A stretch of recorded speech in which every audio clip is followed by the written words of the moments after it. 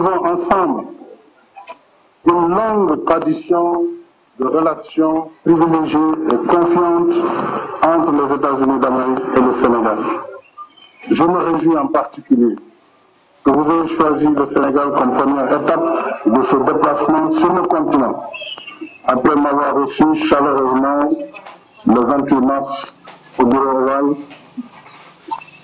Le président et moi-même nous sommes entretenus sur des questions d'intérêt commun sur le continent africain et au plan international. Nous avons naturellement évoqué des questions bilatérales. En ma qualité de président en exercice du comité d'orientation du MEPAD, j'ai notamment fait part au président de nos projets d'infrastructure africaine euh, et aussi je revenu au plan bilatéral sur notre coopération déjà excellente et je veux surtout remercier pour le soutien des États-Unis au développement du Sénégal. Nos deux pays ont aussi une vision partagée des valeurs essentielles, la liberté, la démocratie, la coexistence pacifique des cultures et des religions et la bonne gouvernance. Sur ce dernier aspect, le Sénégal salue l'initiative américaine d'Open Government Partnership à laquelle nous adhérons.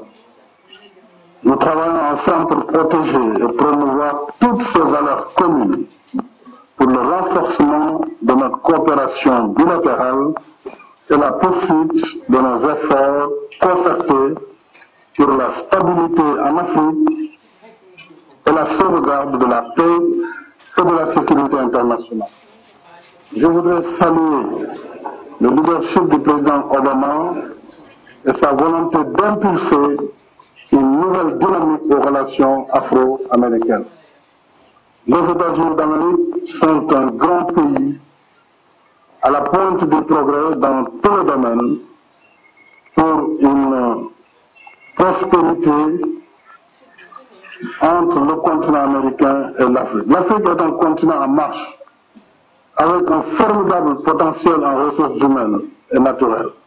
De part de d'autre, nous avons une occasion historique d'ouvrir de nouvelles perspectives à nos relations sur la base de complémentarité en offrant plus d'opportunités à notre jeunesse et en stimulant le commerce et les investissements pour une prospérité partagée. Le Sénégal se reconnaît entièrement dans ce nouvel élan, Monsieur le Président, et je suis disposé à poursuivre avec vous nos efforts dans ce sens.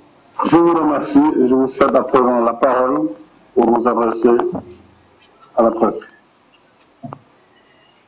Well, thank you very much, uh, President Sall, for your generous words, uh, and it's a very warm welcome that we've received from uh, your delegation. Uh, on behalf of my, myself and Michelle, uh, our two daughters, Malia and Sasha, and our entire delegation, it is wonderful to be here in Senegal. Uh, to all the Senegalese who lined the streets to welcome us, uh, we are deeply touched. Uh, we're very grateful for uh, your teranga, uh, your hospitality. I'm making this visit to Africa because, as I've said before, uh, I see this as a moment of great progress and great promise for the continent. Uh, it's true that Africa faces great challenges, and meeting these challenges together is a focus of my trip.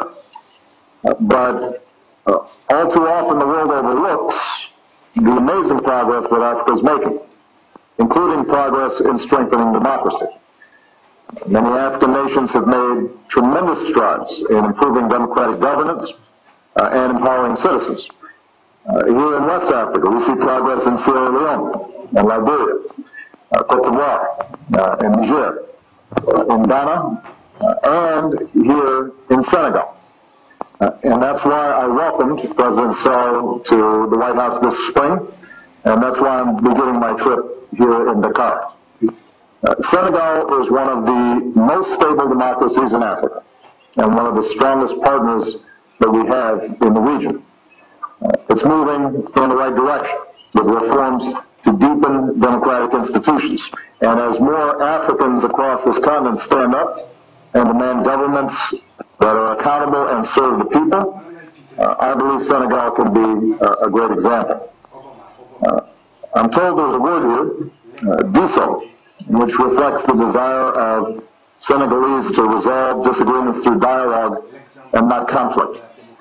Uh, Senegal has never suffered a military coup. There are free and fair elections, repeated transfers of power peacefully, a vibrant civil society, a strong press, and dozens of political parties.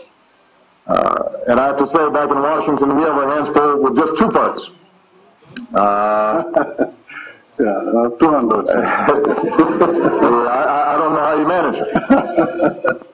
but you know, after last year's election here, we were inspired by the citizens of Senegal demanding that their votes be respected and that President Sall be sworn in as the democratically elected leader of this nation.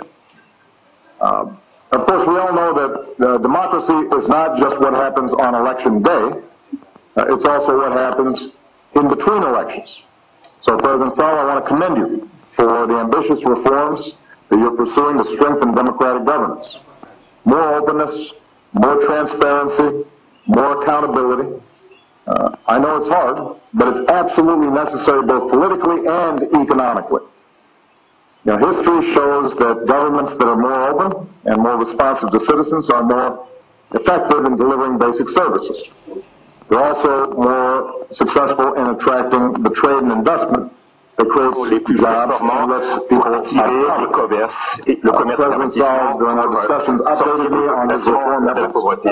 Le président Sall m'a parlé des réformes d'entreprise, nous les soutenons, il a parlé des accords et justement, dans le cadre de ces progrès, je me réjouis de voir le Sénégal adhérer à ce partenariat pour le gouvernement ouvert, car comme nous nous sommes tenus solidaires envers vous lorsque vous avez défendu votre démocratie la dernière, nous voulons aussi être votre partenaire pour les années à venir pour montrer que la démocratie donne lieu à du progrès, justice et emploi. S'agissant des emplois, le président et moi-même avons parlé de la nécessité d'augmenter volume de commerce pour faciliter le commerce et l'investissement mutuel. De notre côté, la loi sur euh, le développement et l'opportunité en Afrique, l'AGOA, euh, prend fin dans deux ans et je vais euh, chercher des modalités de reconduction et d'amélioration de cette loi pour générer davantage de commerce et d'emploi. Et nous devons travailler davantage au sein de la région. C'est pour ça que j'ai donné ordre à mon représentant du commerce, Mike Froman, de finaliser un nouvel accord d'investissement avec la CDAO. Mais à terme, cependant, la croissance et le progrès doivent toucher davantage de populations. Nous pensons qu'il va s'agir d'une d'un développement vaste pour tout le monde. Notre mission a toujours essayé à assurer ce développement élargi par le biais de nos programmes de développement. Par exemple, je suis très fier d'être ici dans le cadre du 50e anniversaire de la présence du corps de la paix au Sénégal. Aujourd'hui, je réaffirme que les États-Unis vont demeurer un des partenaires les plus forts du Sénégal dans ce domaine. Nous allons construire de nouvelles routes, des ponts pour que les marchands puissent écouler leurs marchandises, pour qu'il y ait davantage de manuels scolaires, également qu'il y ait davantage de connectivité Pour que les enfants puissent apprendre. Vu que la plupart euh, des gens au Sénégal et dans le continent travaillent dans l'agriculture, notre initiative sur la sécurité alimentaire va aider les agriculteurs à développer de nouvelles semences et technologies, augmenter les revenus et les rendements. À mesure que le président Sall entame une réforme foncière, nous allons entamer cette nouvelle alliance pour la sécurité alimentaire dont je parlerai davantage demain. Nous allons poursuivre ces efforts communs contre le VIH-Sida, et grâce à cela, nous avons, grâce à ces efforts, nous avons réussi à maintenir les taux d'infection relativement bas dans ce pays et nous allons continuer de distribuer des moustiquaires pour protéger les Sénégalais contre le paludisme. Mais généralement, je souhaite remercier le Sénégal d'être un partenaire très fort pour la sécurité régionale, car les forces de maintien de la paix du Sénégal ont été très courageuses en Côte d'Ivoire, au Congo notamment. Les troupes sénégalaises aident le peuple du Mali à recouvrer son pays et j'ai accordé au président mon soutien dans le cadre de cette mission et au sein du Sénégal, nous soutenons les efforts du président pour euh, aboutir à une paix durable dans la région de Casamance. Et finalement, je suis très heureux de constater que nous renforçons nos relations bilatérales entre populations.